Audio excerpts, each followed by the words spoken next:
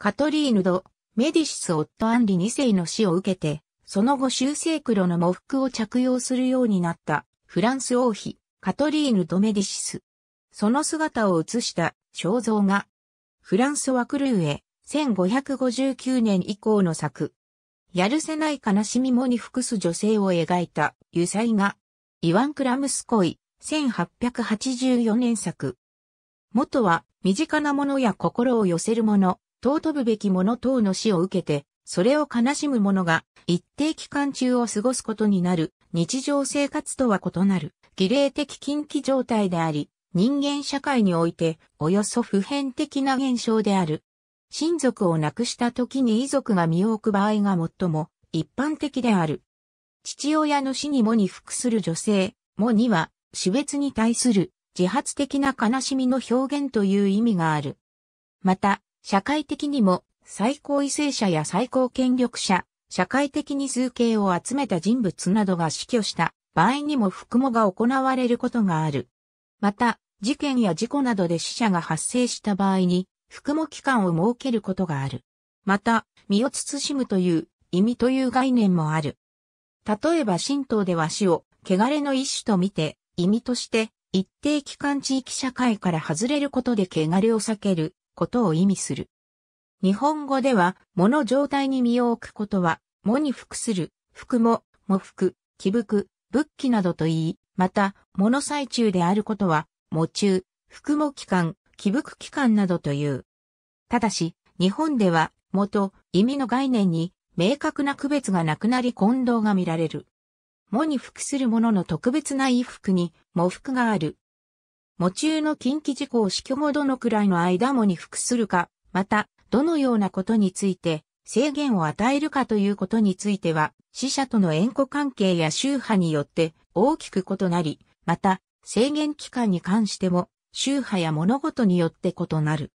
喪中の期間は、意味と服に分けられ、両方を合わせて、仏器、または、起伏という。意味は、個人のための祈りに専念する期間であり、もともと死の汚れが身についている期間であるとされた。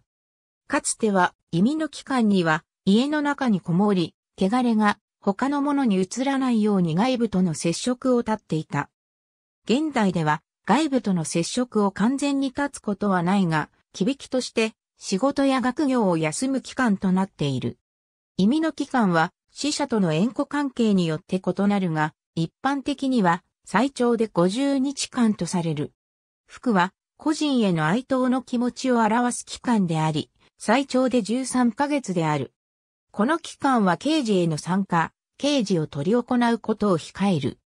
下記に例として挙げる中にも、肉食のように最短で1日以下で終わるものもあれば、正月のように最長で1年近くになるケースも考えられる。なお、これらは現代における禁忌であり、過去における適用範囲はもっと広かった。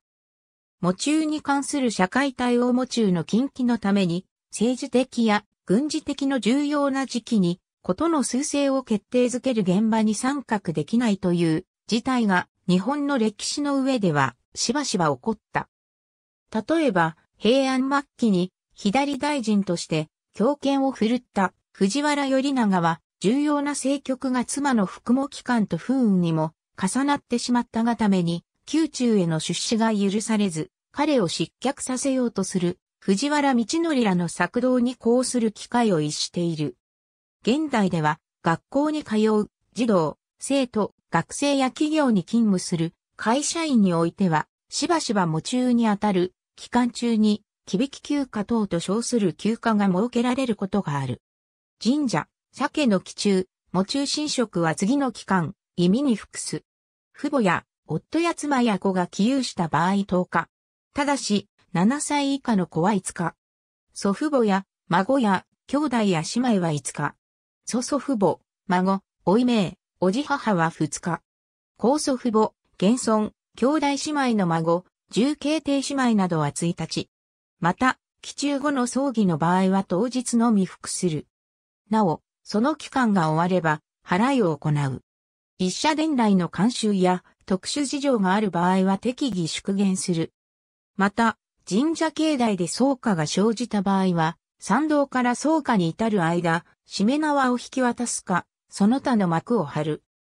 仏教寺院の基中、喪中不幸があった家が仏教寺院の場合、三門不幸と呼ばれ、当該寺院では門に墨字で三門不幸と書かれた木製立て札がかけられる。僧侶本人以外の寺院家族の不幸の場合は、宗派や地域によって一般家庭同様に三門不幸とはせずに、基中の扱いと同様に扱うこともある。台湾では、喪主は喪が明けるまでの49日間もに服す習慣があり、男性の場合は髭を剃らないという習俗がある。また近親者も喪が明ける49日間は会社への出社時にも肩に喪中であることを表す布切れをつける。イタリアでは1960年代から1970年代頃まで北部や中部の都市部で近親者が左腕の上腕部に黒地の布の腕章を1年間につける習慣が見られた。その後も南部の農村部には上腕部模章をつける習慣が残されていた。また、南部では戸口に黒い布地を斜めに貼り、風雨にさらされて白っぽくなるまで服もする習慣も見られた。宗教により一定の服も期間がある場合と特に定められた服も期間がない場合がある。ヒンドゥー教個人の近親者は13日間の服も期間があり、自宅で過ごすのを良しとする。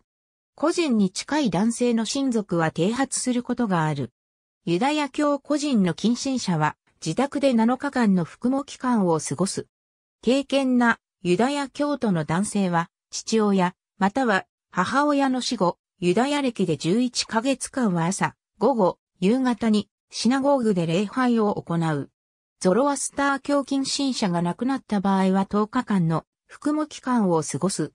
なお、死去後1ヶ月、6ヶ月、12ヶ月に儀式がある。ありがとうございます。